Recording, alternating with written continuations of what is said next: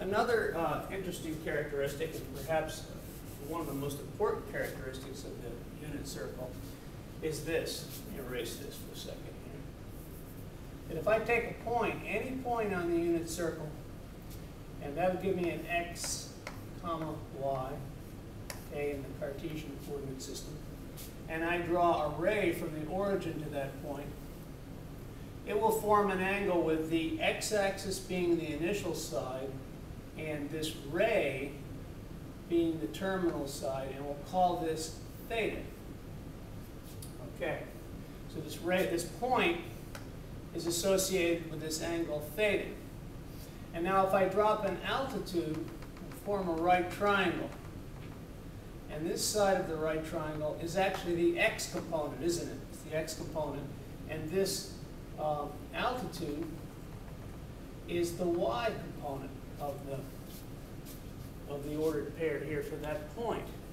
Now, of course, we know this radius is 1. It's a unit circle. So, if I take the cosine of theta, cosine, of course, is adjacent over hypotenuse is x over 1, which equals x. The sine of theta is opposite over hypotenuse, or y over 1, which equals y. So the x component is the cosine of this angle, and the y component is the sine of this angle. The tangent of this angle of theta equals y over x. Now, it's often hard to find, you can use various uh, common um, triangles to find a few points on the unit circle, but some points are very easy to find. For instance, when the ray is, when the point is right here, then the um, terminal side lays right on top of the initial side, giving us a zero angle. And we know this point.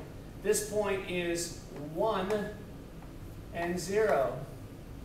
And so the cosine of 0 degrees is 1, the sine of 0 degrees is 0, and 0 over 1 is 0. That's the tangent of 0 degrees. So you have the cosine, sine, and tangent, quite easy. Also, when it gets up to 90 degrees, we know this point here, and this point is a 0, the x value is 0, the y value is 1.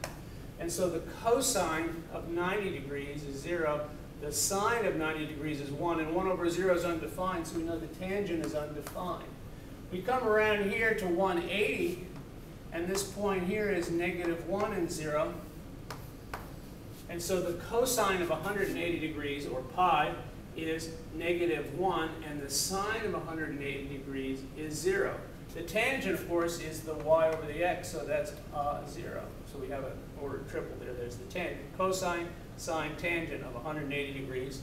We come all the way around to 270, and we know this point, and this point is an x value of 0 and a y value of negative 1.